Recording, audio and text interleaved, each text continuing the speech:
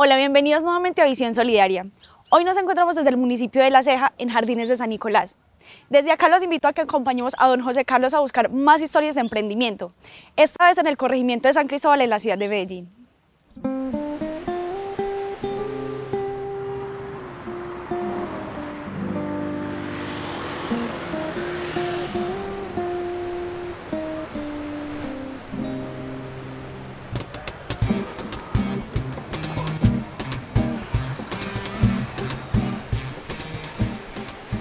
Me encuentro en estos momentos acá en el corregimiento San Cristóbal del municipio de Medellín, donde estaba buscando paisas, paisas eh, emprendedores, paisas con negocios. ¿Y qué le parece que me encuentro con un costeño, pero costeño, costeño, que se llama Johan Chimá, que tiene unos negocios acá y que me intrigó pues eh, saber cómo apareció usted aquí. Johan, ¿cómo está? Muy bien, don. ¿De dónde es el Chimá, hombre? Ese chimá es de Córdoba. De Córdoba.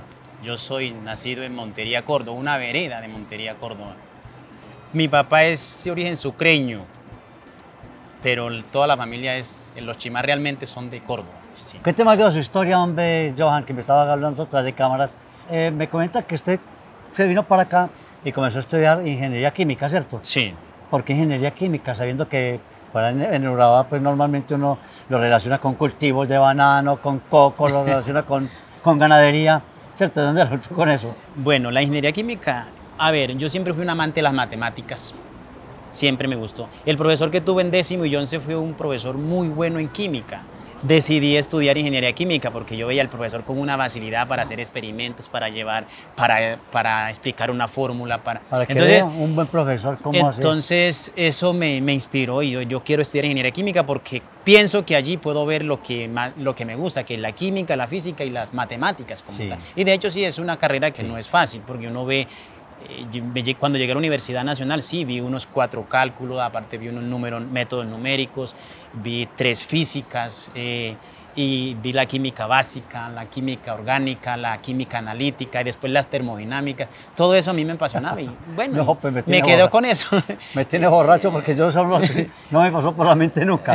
Bueno, Johan, no, felicitaciones, de todas maneras. Gracias. ¿Qué hizo que usted bien se viniera para acá, fuera del estudio? ¿De pronto alguna, con- algún problema familiar o qué, qué digo yo, o social?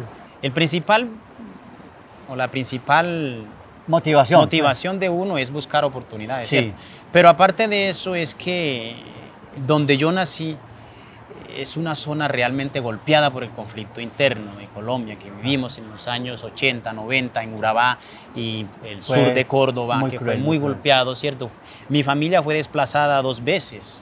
Eh, mi madre aparece en registros de, de desplazamiento, nosotros también, pero yo no quise nunca como registrarme porque pues yo de, aunque soy víctima del conflicto, dejé de ser víctima, de pensarme como víctima y no. Sí. Entonces, eh, me gustó más bien de, de olvidar esa, esa, esa etapa de la vida de uno, ¿cierto? De escuchar las bombas, de ver los muertos, de, de estar con miedo Sí. a quererme a encaminar a, a estudiar, ¿por qué no? A estudiar.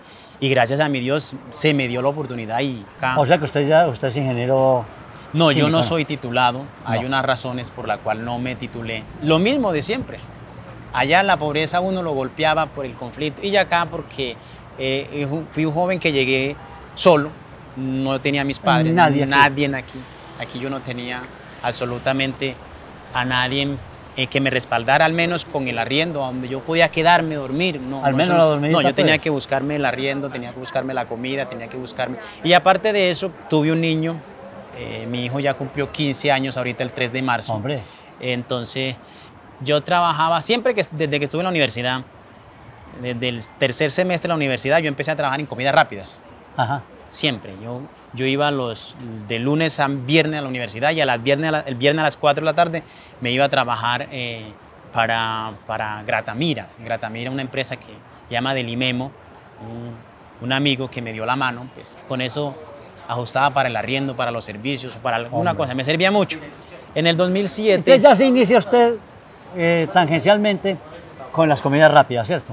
Eh. ¿no? Eh, que con esa empresa que le dio la mano y, usted siguió, yo lo veo ahorita con, con una cantidad de Eh, negocios. Bueno, sí. que- a ver, en el 2007 yo me vinculo a un colegio en Envigado. Sí. Entonces ahí es donde viene el abandono a la universidad.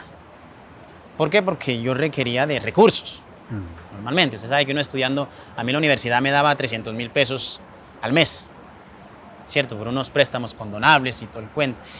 Pero eso yo tenía que pagar arriendo, servicio, transporte, de todo, entonces no me daba.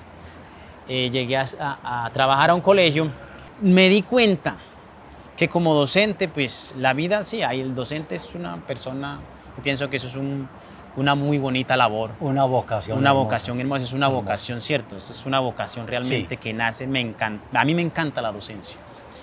Pero también me di cuenta en los negocios de comida rápida que, que a veces en los negocios está la plata. ¿Dónde se vino usted a poner su primer negocio? El primer negocio lo puse en el bosque, en Moravia. ¿En Yo Moravia? vivía en Moravia, sí, en el 2007. 15 de diciembre, Del 2007 arranco mi primer carrito en la calle. Así empecé. A las 9 de la noche, porque se fue, el día que iba a abrir se fue el agua en ese barrio. Me tocó abrir a las 9 de la noche. Pero de 9 a 11 de la noche vendí 60 hamburguesas y 40 perros. Eso fue una maravilla para mí, porque imagínense.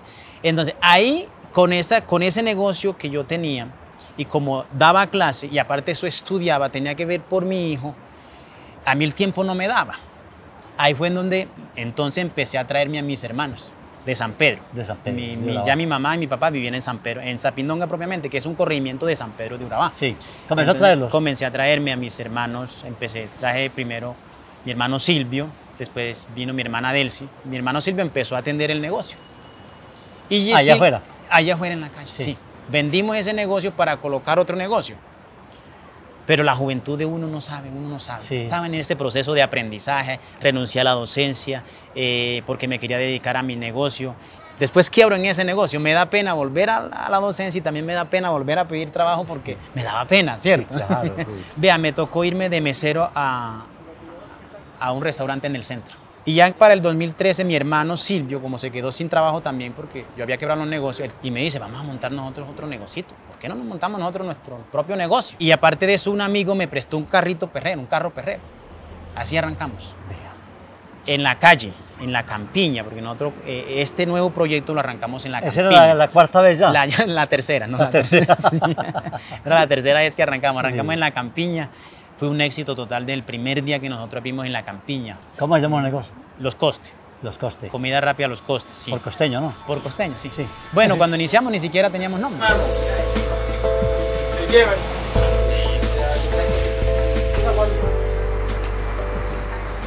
Yo escuchaba estos comentarios cuando iba en el bus. Bajaba en el bus de Moravia y escuchaba unos comentarios. Anoche me comí una hamburguesa bien buena. Sí, ¿a dónde? Ahí donde unos costeños. Después de eso arrancamos con el negocio de San Cristóbal. Era un pueblo en la parte de, en esta parte donde está el negocio, cuando nosotros arrancamos era muy sola. Y la gente me decía, usted es loco. ¿Cómo va a montar un negocio en una parte tan sola y un arriendo tan caro? En ese tiempo era 800 mil pesos. La gente le parecía, esto es solo porque aquí no hay nada bueno que venda. Y créame. Yo voy a el- llenar esto. el- sí, yo, y yo voy a llenar esto. Aquí esto se va a volver comercial, ya verán. Y créame que el primer día vendí cinco hamburguesas y cuatro perros. El primer día. Buen inicio, no había... Para, Para mí, no, nosotros- para mí no fue malo. Para los otros era Sí, nada. Para mí no fue malo. No iba a vender es nada. cierto. Eh, el hecho es que al cabo de los cuatro meses ya yo tenía cuatro empleados en este negocio de San Cristóbal.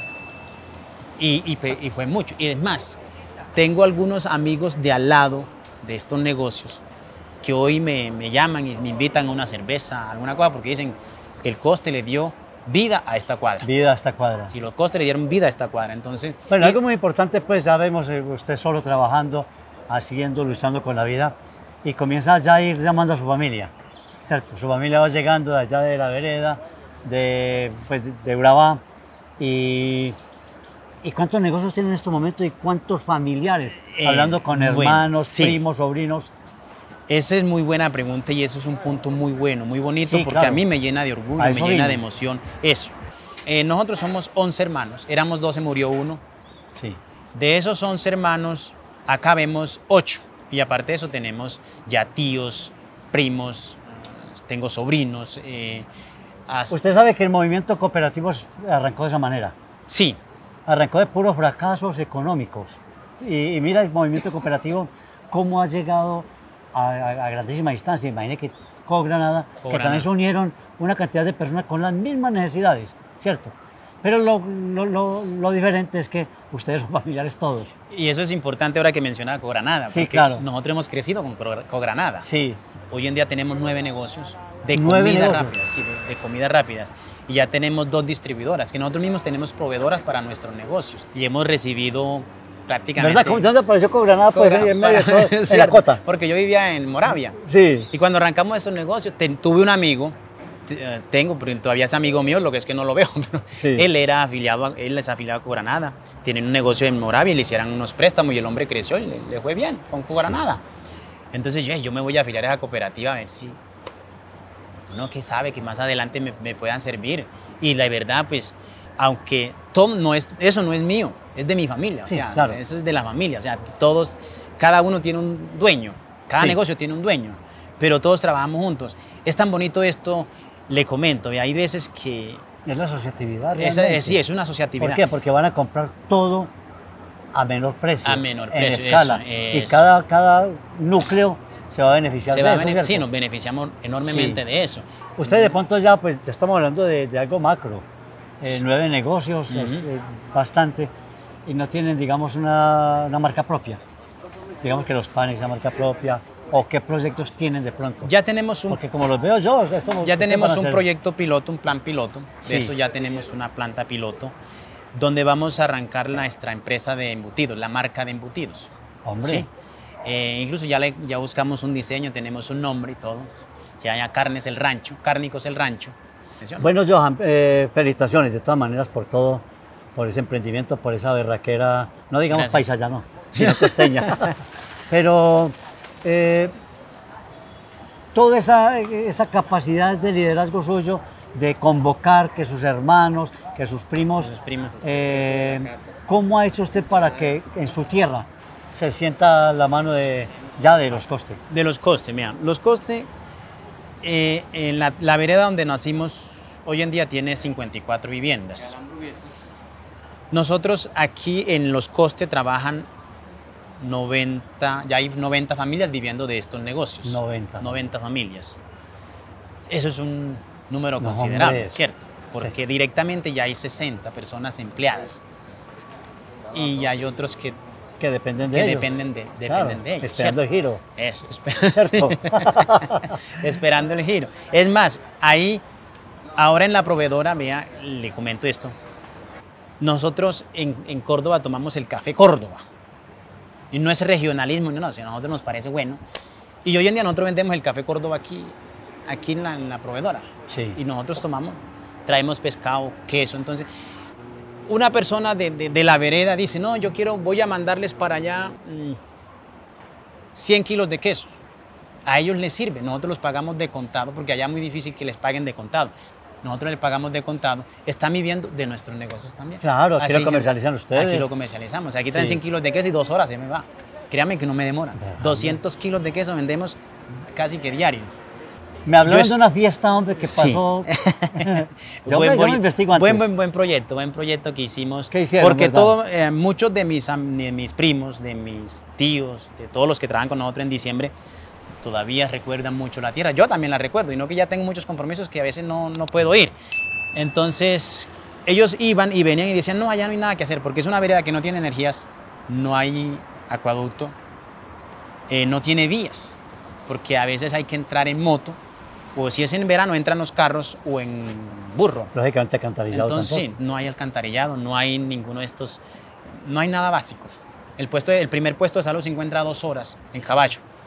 Yo antes de venirme allá, yo era el que hacía las recreaciones, yo era el que eh, convocaba a la comunidad para hacer un puente. Y al que estaba estudiando Siempre, eso, siempre que estaba estudiando en Medellín. Entonces yo hacía eso, ya tenía mucho rato no lo hacía. Yo digo, yo quiero volver y nuevamente convocar a la, a la comunidad y, y- y a divertirnos un rato. Entonces se me ocurrió fundar, porque eso se llama así, ya fueron inauguradas las primeras justas deportivas y recreativas en esa vereda, del 25 al 31 de diciembre. Sí. Allí hicimos varios torneos, microfútbol, de niños, de jóvenes y adultos, y de mujeres adultas, carreras en saco, trompo, parqués, dominó, eh, el, el juego de la manzana, el juego de la cuchara, que son juegos tradicionales, tradicionales de- tradicionales de allá, la pelea de gallo, el gallo humano, el toro humano, la vara de premio. Todos estos, estos torneos o estas competencias que hicimos con la comunidad, aparte de eso integramos a otras comunidades porque invitamos a cinco comunidades más alrededor. Eh, ¿Reunió cuántas personas más o menos? Más o menos reuníamos diario unas mil personas. Mil personas. Donde la vereda tiene realmente por ahí 200 personas. Eso tiene unos costos. Eso tiene unos costos. Eh, esos costos todos salieron por, eh, por los, costes. Los costes, sí, todos. Los costos de los costes. Los costos de los costes, sí.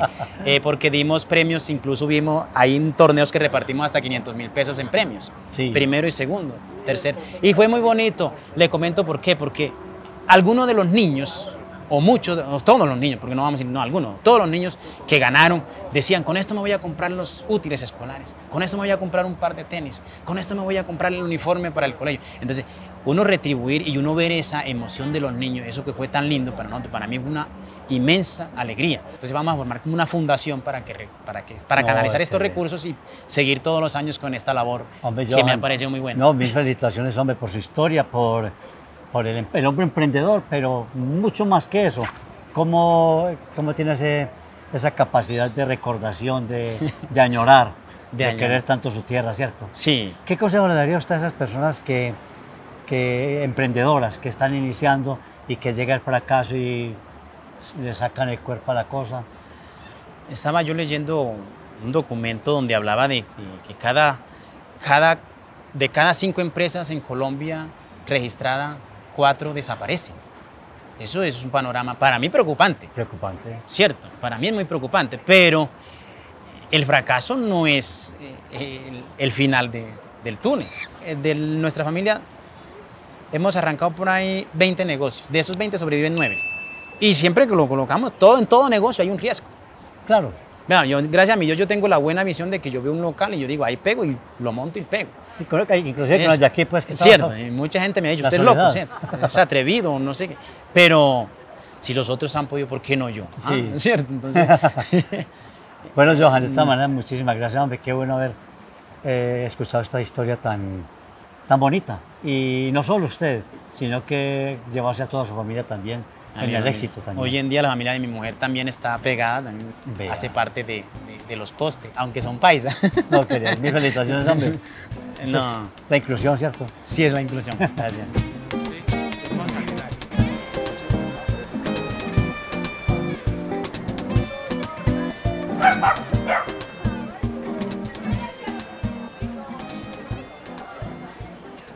Con esta bonita panorámica del Cerro del Capiro en el municipio de La Ceja finalizamos el programa del día de hoy. Recuerden seguirnos en las redes sociales de la cooperativa y suscribirse en el canal de YouTube. También si tienen alguna historia que pueda ser contada en Visión Solidaria nos lo pueden dejar en los comentarios. Nos vemos el próximo sábado con una nueva Visión Solidaria.